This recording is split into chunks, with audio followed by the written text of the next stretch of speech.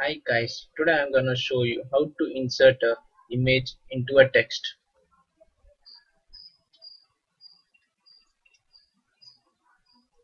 Select the text, write the text of your own whatever you want.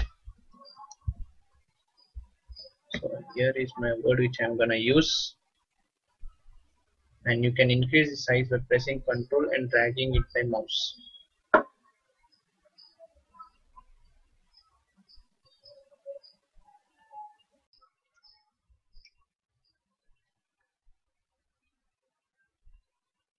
So this is a size of the text in which we're gonna insert the image. Now go to your images folder and select the images you want to put into this text.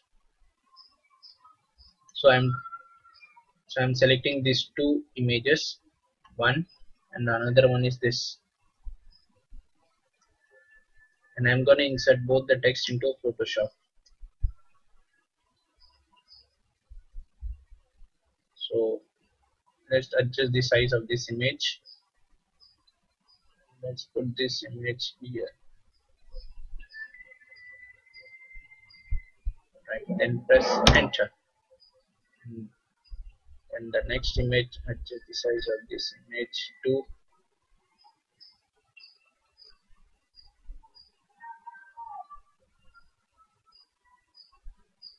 and press enter. Now we have inserted two images now let's make a mask of this image. So go to the right side bottom and click on create or add a layer mask. Just add it then you will be getting a layer mask. Then use use the brush tool. Then in brush tool select the fifth option small thumbnail. Then hardness should be zero. Hardness should be absolutely zero. And clear the edges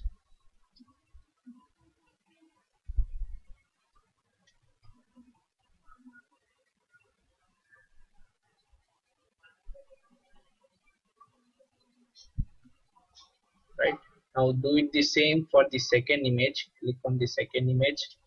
Click on add a layer mask. Using the brush tool clear the edges.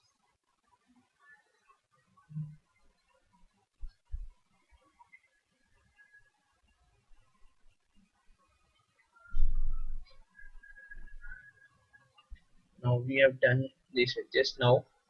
On the right side click on opacity. Do it to 50 percent for both the images. Alright now we have created now go to the layer click on now select both the images first and then go to the layer click on create clipping mask. That's it. Your picture has been inserted to this text and your text image has been created. Thanks for watching guys